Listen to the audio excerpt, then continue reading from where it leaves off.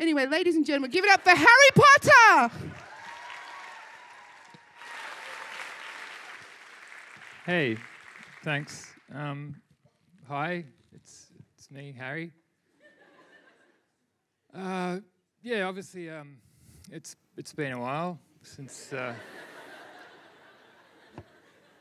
since the whole pew pew pew pew pew pew kind of thing. Um, Avada, Avada, Kedavra. I want to reach out and kill Voldemort. Yeah, I, I'm the master of death. Uh, that does also apply to my jokes. So, um, yeah, it's been a while since the Deathly Hallows. Um, I've just been laying low. Uh, what have I been doing? I, um, I've been working on a, a ride sharing app called Broomer. Yeah. I'll, I'll take that reaction back to the marketing department. And uh, I've been working on a podcast with Peeves, um, just true crime kind of thing.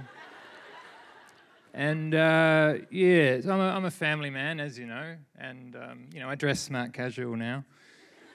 And well, these uh, these pants are a bit of a mistake, actually. I um, I was just trying to make my own jeans, but uh, I mucked up a spell, and um, I think Sirius's corduroy jacket got in the mix somehow, and the 70s were born. But because I do, I guess uh, I do have wand mishaps from time to time. I should let you know I do actually have PTSD, which is post-traumatic spell disorder. Uh, you know, because a lot went on for me, and um, I just wanted to say a few things, I guess, tonight. I, I made a bit of a, this is a prepared statement. Uh, look, unlike for you, my life didn't stop on the last page.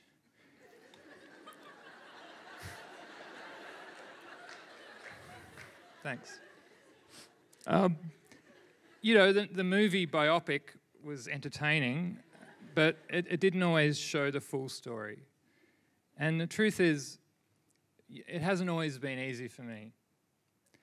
And I suppose I was a little bit peevish, you might say, to see a whole anti Harry night tonight.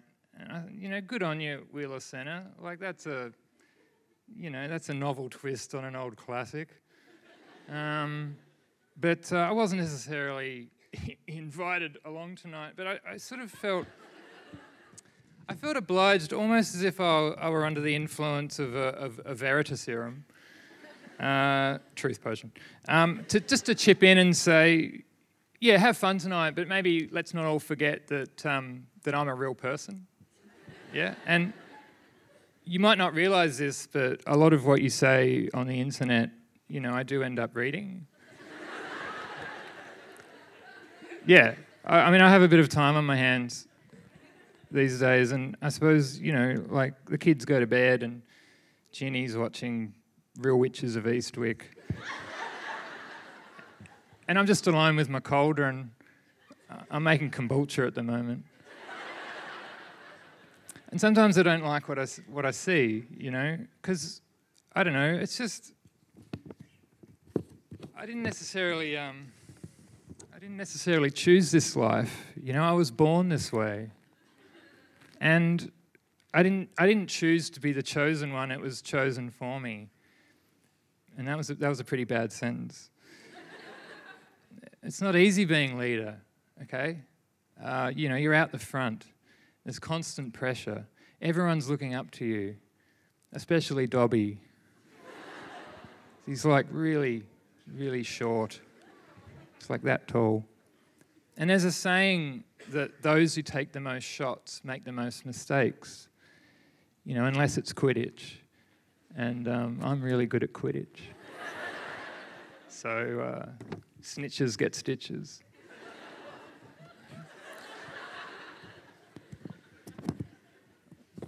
Wait for laughter. Okay. Um, so, you know, everyone loves you when you're hot right? And they and they just pile on all the attention, which you didn't necessarily ask for at the time, until maybe they've decided that you suddenly you're a bit passe and they've all moved on.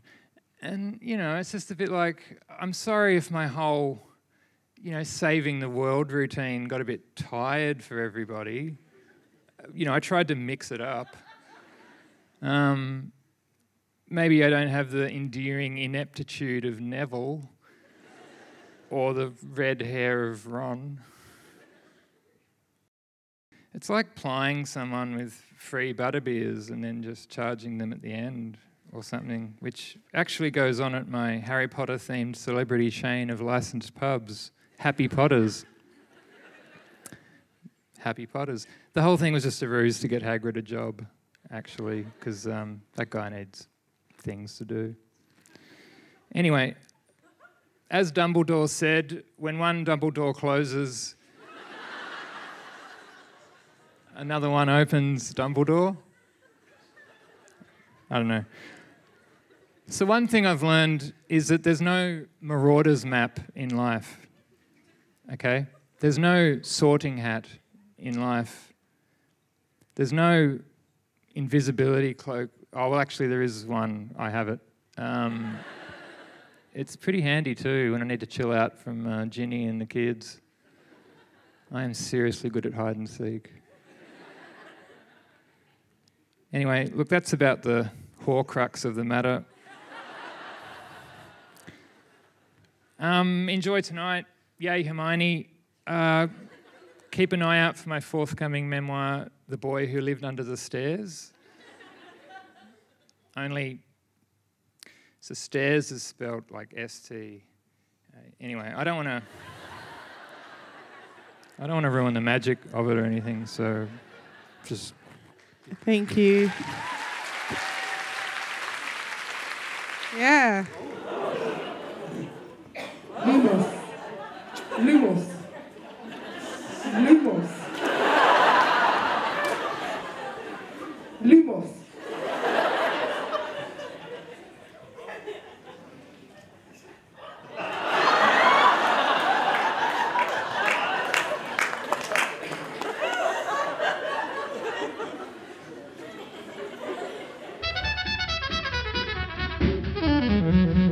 I'm just wild about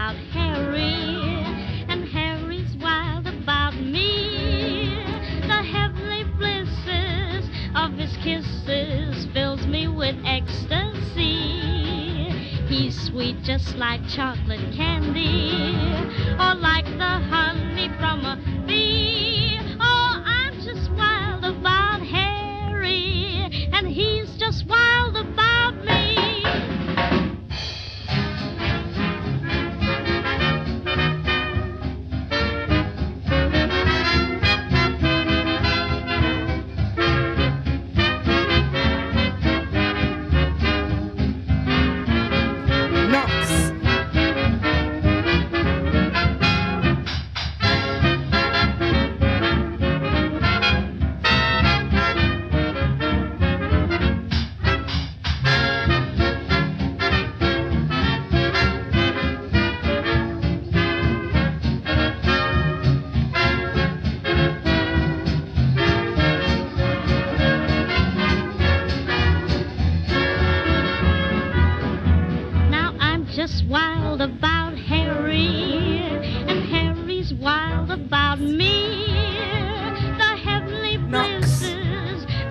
kisses fills me with ecstasy. I didn't say that. Ladies and gentlemen. Sweet just like chocolate. We started weird, we decided to end weird. You know what I'm saying? Um, for the kids out there, it doesn't always end well for child stars. And um, that's the final message we wanted to leave with everyone here at the Wheeler Centres.